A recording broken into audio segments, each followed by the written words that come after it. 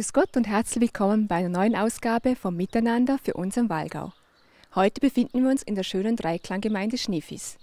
Der Ortskern von Schniefis liegt auf 660 Metern und knapp 830 Einwohner wohnen in diesem Dorf. Das Aushängeschild von Schniefis ist natürlich die Sennerei Schniefis.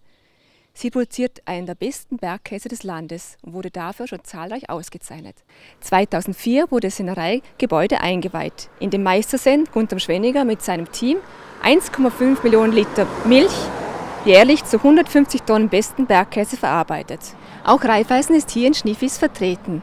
Harald Moosmann und seine Mitarbeiterin Ingeborg Hintauer stehen der Bevölkerung mit Rat und Tat zur Seite. Wir werden Herrn Moosmann später noch persönlich kennenlernen. Kommen wir nun zu unseren Beiträgen. Unser heutiger Wohntraum führt uns nach Sateins. Familie Vonnewan hat in der Herrengasse eine Wohnung erworben. Die überschaubare Größe der Wohnanlage hat den Vorteil, dass man seine Nachbarn noch kennt und sich auch persönlich einbringen kann. So ist Herr Vonnemann für die Heizanlage der Wohnanlage zuständig. Werfen wir nun gemeinsam einen Blick in seine Wohnung.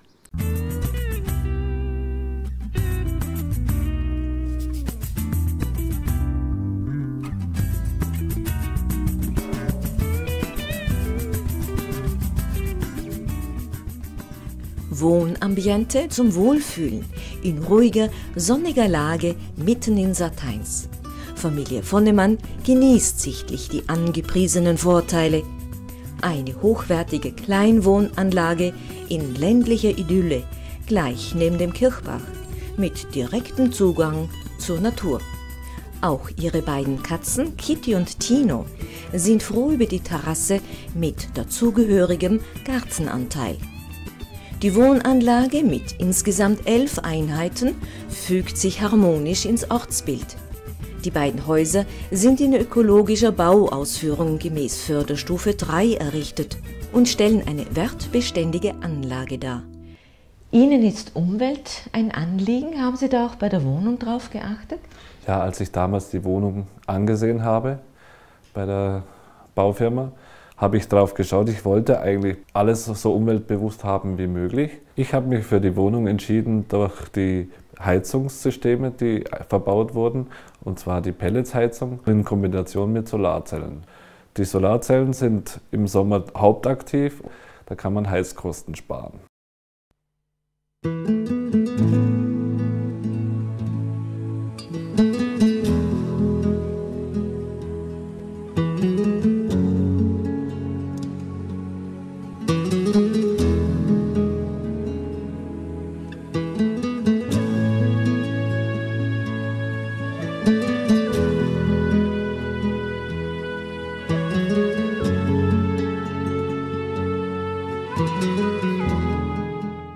Die Familie Vonnemann hat sich entschlossen, diese Wohnung in der Herrengasse zu kaufen.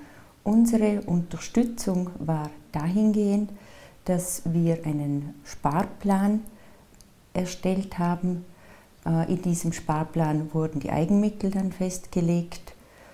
Das ist sehr wichtig. Wichtig war auch, dass die, Frau Vonne, dass die Familie Vonnemann rechtzeitig gekommen ist. Warum ist es wichtig, dass man sich frühzeitig meldet?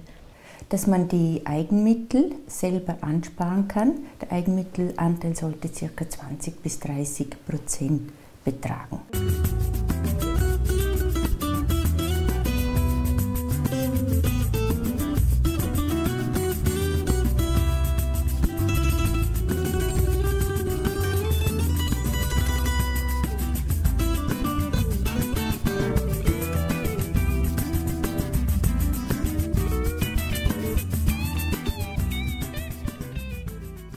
Als dann das Objekt zur Finanzierung gekommen ist, haben wir ihnen den richtigen Mix angeboten, sodass sie ihren Wunsch oder ihren Wohntraum rechtzeitig, sich rechtzeitig erfüllen konnten.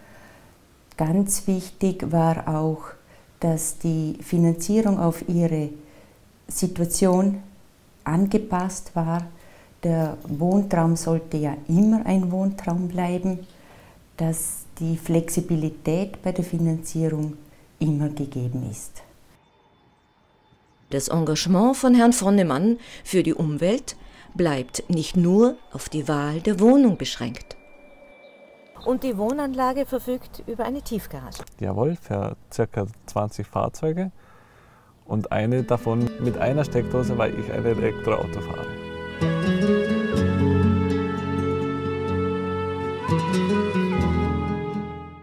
Ja-Sag. Unter diesem Titel wird ab Sonntag, den 27. April, im Blutens ein Theaterprojekt zum Thema Gewalt aufgeführt. Schüler und Schülerinnen des Gymnasiums und der Bundesakademie äh, Bludens haben gemeinsam mit Theaterprofis dieses Projekt ausgearbeitet. Ein Theaterstück über Schweigen und Tabus, über Wissen und Nichtkönnen, über Mut und Angstzonen. Wir waren bei den Proben mit dabei.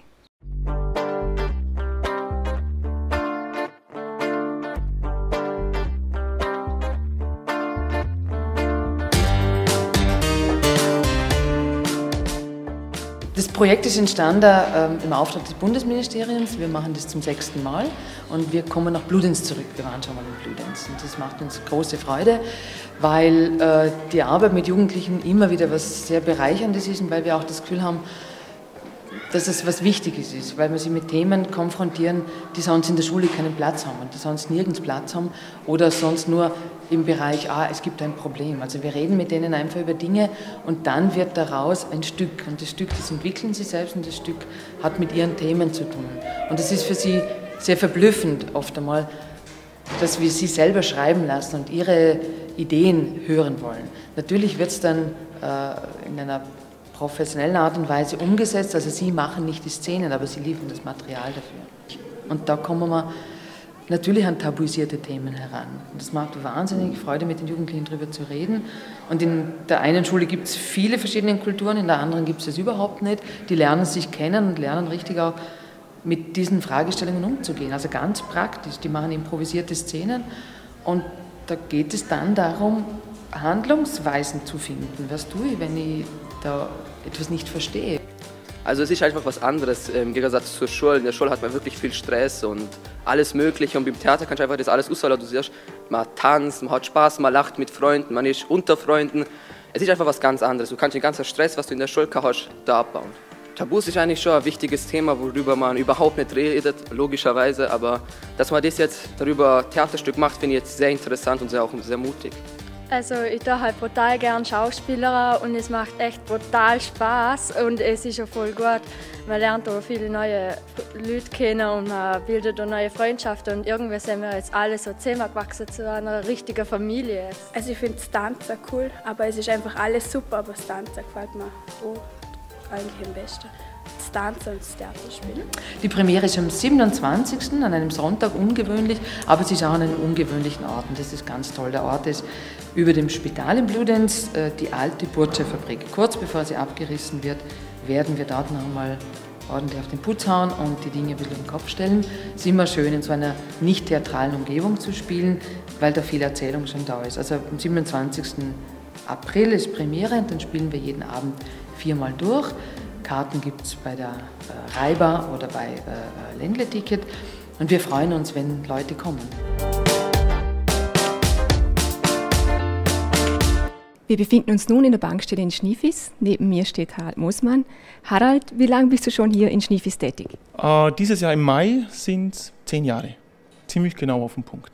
Und wie gefällt es dir? Perfekt, sonst wären nicht schon zehn Jahre hier. äh, was ist die Herausforderung im Dorf, in einem kleinen Dorf Kundenbetreuer zu sein? Einmal das Schwierige ist, man hat mit allen verschiedenen Geschäftsarten zu tun. Das ist aber auch das Interessante an der ganzen Sache, weil man hat vom Kleinsten bis hin zu der ältesten Leute alles und mit ihren Wünschen und Anliegen ist man da jeden Tag verschieden, verschiedenartig gefordert einfach. Wir haben ein Ostergewinnspiel mhm. durchgeführt und hier haben wir die Gewinnscheine mit. Und Harald, du bist jetzt nun die Gewinnfee Super. und darfst drei ja, Gewinner ziehen. Das ist gut, das machen wir. Wir schütteln es dann nochmal ordentlich. So, da, da. Ähm, welchen Preis ziehen wir als erstes? Uh, der Kinopreis. Der Kinopreis, okay. Schauen wir da mal, was wir so finden. Okay. Wir haben da einen Ganal Gernot aus St. Gerold. Aus St. Gerold, genau. Der Ganal gewinnt einen Kinoabend für vier Personen im Kino Bluts. Herzlichen Glückwunsch. So, dann fangen wir rein. Der nächste ist. Um, ähm, das ist die Captain's Brunch, ja. Den Captain's Brunch, okay. Die Antwort ist richtig. Gewinnt der Geiger Rainer? Geiger Rainer, genau. Aus Bludenz. Genau, ja. Herzlichen Glückwunsch, viel Spaß am Bodensee. Und dann haben wir noch die Videogutscheine. Genau. So, im Wert von 100 Euro gewinnt die Marlene Konzett aus Fontanella. Herzlichen Glückwunsch. Herzliche Gratulation. Harald, das Gewinnspiel war mit dem gelben Mann. Wie ist der gelbe Mann sonst noch im Dorf und im Geschehen sichtbar? Äh, wie schon gesagt, bei der Vereine. Wenn Vereine wollen, können wir gerne einen gelben Mann zur Verfügung stellen, den sie bei Ihnen auf dem Event aufstellen, dass man aussiert, okay, Raiffeisen ist aber in den Vereinen immer mit dabei. Das war's schon wieder von Reiber Walgott TV. Ich wünsche einen guten Start in den Frühling und freue mich, wenn Sie bei der nächsten Ausgabe wieder mit dabei sind. Auf Wiedersehen.